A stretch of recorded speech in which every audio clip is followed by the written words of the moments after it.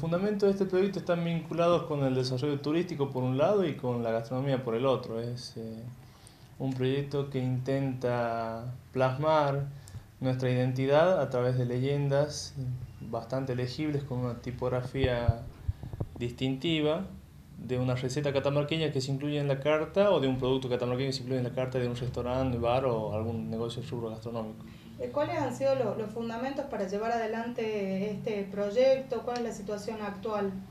La relación que tiene la gastronomía con el turismo. Nosotros tenemos una provincia con bellezas paisajísticas que son difíciles de encontrar en otros, en otros lugares y creemos que más allá de la predisposición cultural para recibir al turista, para abrir la puerta de nuestra casa, debemos ofrecerle también un poco de nuestro legado, nuestro, de nuestros conocimientos, saberes culinarios también a través de la gastronomía. Muchas veces nos hace falta sentirnos un poco más orgullosos de lo que somos y eso también hay que plasmarlo en nuestra gastronomía que es vasta, es riquísima y tiene regambre incluso ancestral. ¿Ha podido tomar contacto con los propietarios de bares, de restaurantes? Eh, ¿Cómo han recibido esta medida ellos, este proyecto? Con algunos sí, en realidad he charlado porque muchos ofrecen eh, productos regionales o recetas catamarqueñas en sus menús y en sus cartas, pero no está especificado que, que son propios del lugar.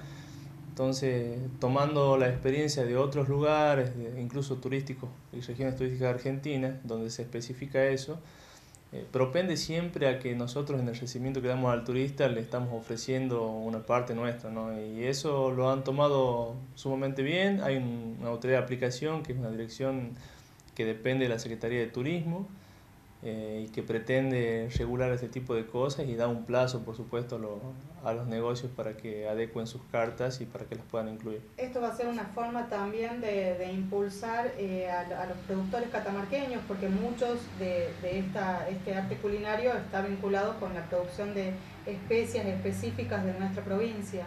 Sin duda que sí, bueno, es una ninguna acción es aislada, todo se relaciona muchas veces con, con todo, es decir, el turismo genera muchos ingresos a la provincia y potencialmente somos una provincia que podría sustentarse con el turismo también.